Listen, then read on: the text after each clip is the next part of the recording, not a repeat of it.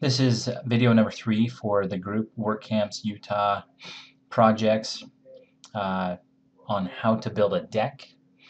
In the first two videos we showed how to build the platform and set these posts and build the stairs and set the railing posts in concrete. So this is where we left off at the end of video two. Again the goal is that our deck look like this when we're all done. So in this video three we're going to talk about how to to measure and cut these railings so that they all line up. The first thing we need to do is at up to this point we've just run all of the porch posts kind of wild so they're sticking up in the air and we need to cut every one of them off. Uh, to do that you just need to measure up exactly three feet from the top of your decking and draw a line and cut each post off nice and square at that height. The next thing you're going to do is you've got to find, in, in this picture it, it's showing that it's already done, but you've got to find out where the top of this post planes in with this post and you're going to cut this post off at that height. To do that, if you'll take just a nice straight board and lay it across the top edge of all the stairs and use it as a reference board. And then measure from where just the top edge of your reference board to the top of this post. So that's going to be the height of our deck post, you know, from the reference board up. Let's say that's 20 inches. And then you're going to come down here and off of the reference board you're going to put a measurement up on both sides of this post. So on this side you'd measure from here up and if it was 20 inches you'd put a mark at 20 inches and then you'd go to this side of the reference of this post and measure from from here up. And when you do you're essentially kind of making a, para a line parallel with the bottom edge of this reference board and uh, giving yourself a couple of marks. You'll draw a line here and you'll have a parallel line and, and you'll know where to cut that post off. Um, so if you'll make those marks and cut each of the the stair posts off at that height, then all of your posts will be at their finished height. Once you've done this, you're ready to install or begin installing the railing. Uh, for if this is a 4x4 porch, you can cut both of these railings at right at 48 inches, and they should be they should give you a little extra length which we're going to be trimming this length. And you can install these uh, rails now or you can have someone hold them in place while you make a few marks. Then you can take them down and make some cuts.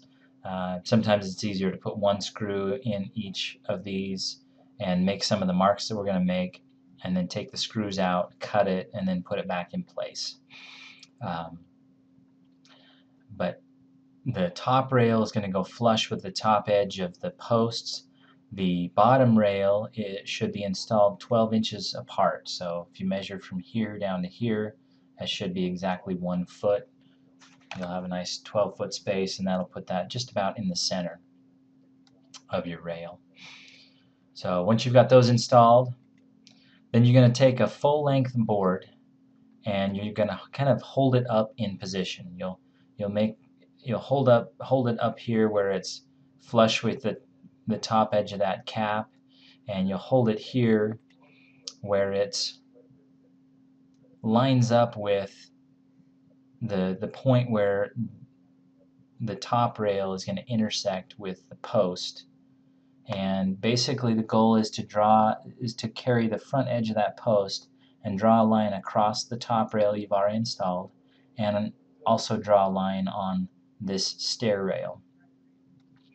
Um, once you've done that, you're going to draw the same line down below, but obviously we're not aligning it with anything on the post. We're just right where these two boards intersect. You're going to draw a line across the bottom of both of those. And then once you have that line drawn, you can take your square and connect the dots. So you'll draw a line across the, the face of this rail with your square and then you can so there's the line and, and you'll the goal is to cut that line and then this rail will be ready to install. Uh, and then you'll do the same thing with your speed square. You'll just connect the dots on the rail that's already installed. So it looks like that. And then you'll you may need to remove this so you can cut it. Or if you're good enough with the skill saw, then go ahead and set the depth of your skill saw so that it's just an inch and a half and cut this off in place. And then you're ready to install that next rail. You'll repeat that process for the bottom rail. And then down on the post, these rails are just going to kind of be running long. Um, and what you do is you just come back here on the back side of it and with your pencil just draw a line you know once while you're holding that in place without before you've installed it you just draw a line back here and you'll have a reference line to cut both ends. So you can cut that post right to length.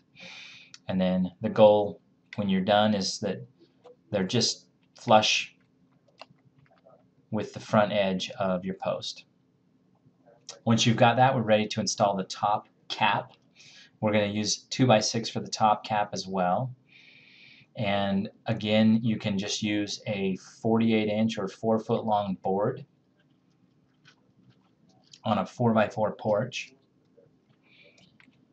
Uh, here we'll use our speed square and we're lining this edge up with basically where the intersection of these two are and then we're going to transfer that line up onto our top cap. So we're going to draw a line using that speed square right here and then we'll lay our speed square across the top flat and draw in that line like that.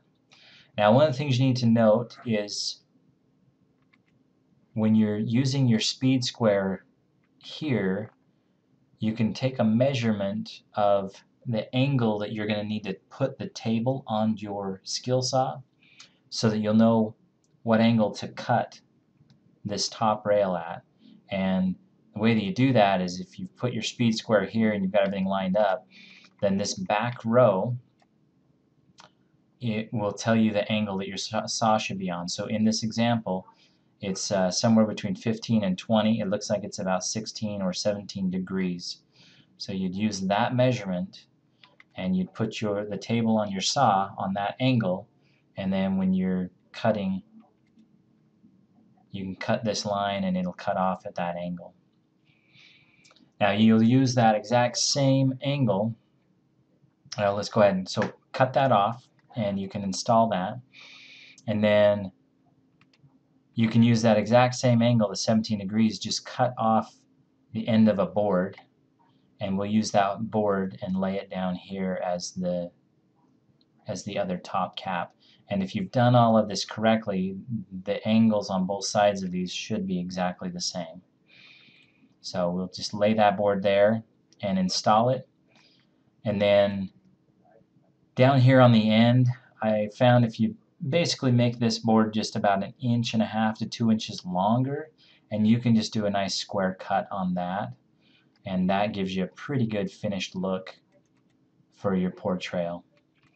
Now repeat the process to complete the other side of the rail, and as you can see, make sure you have plenty of fasteners uh, to keep the rail up. All of the fasteners that you're putting on on the rail are just your 3 inch screws and be careful in not putting the screws so close to the ends of the wood that it's splitting the wood out. On this intersection you may need to be careful or, or drill some pilot holes. But that's it. You've finished your deck and hopefully it looks a lot like this one. Um,